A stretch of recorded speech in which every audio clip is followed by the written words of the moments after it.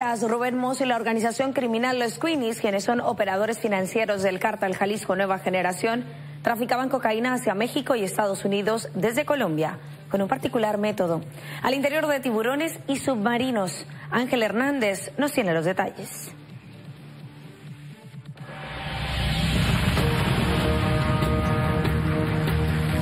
La DEA descubrió que los Queenies, brazo financiero del cártel Jalisco Nueva Generación, traficaba cocaína dentro de cadáveres de tiburones, en submarinos y botes desde Colombia hacia México y Estados Unidos. Hace unos días, Gerardo González Valencia, el Lalo, uno de los líderes de los Queenies, se declaró culpable de tráfico de cocaína en la Unión Americana, ante una abrumadora investigación en su contra que incluye a dos ex colaboradores, interceptación de comunicaciones y el aseguramiento de droga. Fue detenido en Uruguay en 2016 y fue hasta 2020 que las autoridades estadounidenses pudieron ponerle las manos encima tras ser extraditado.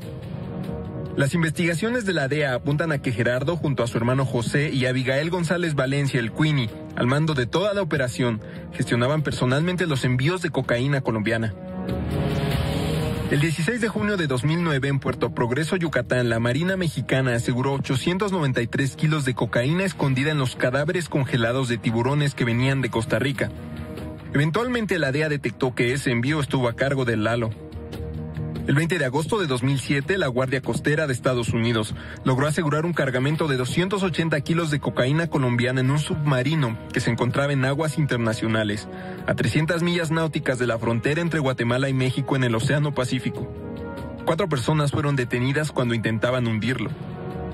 El testigo colaborador 1, un importante narcotraficante dentro de los Queenies que trabajaba con la organización desde el 2000, dijo que se trataba de un cargamento de Lalo y su hermano el Queenie y que era común que también usaran lanchas de motor para esos fines. Explicó que Gerardo controlaba rutas de droga hacia Los Ángeles y Nueva York. La segunda pieza fue el testigo 2, un ex líder de un cártel mexicano y que estaba encargado de transportar la cocaína hacia territorio norteamericano.